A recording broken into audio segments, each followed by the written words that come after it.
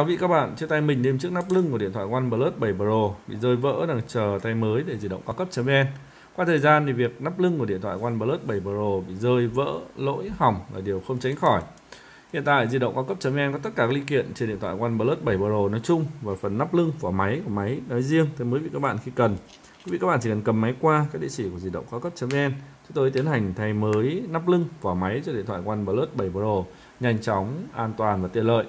Thông tin cụ thể hơn, chi tiết hơn về dịch vụ thay mới à, nắp lưng vỏ máy cho điện thoại OnePlus 7 Pro.